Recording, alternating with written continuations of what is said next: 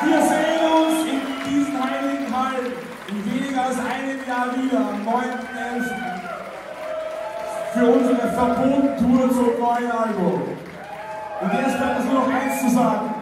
Weltmacht oder Niedergang! Danke, Dresden!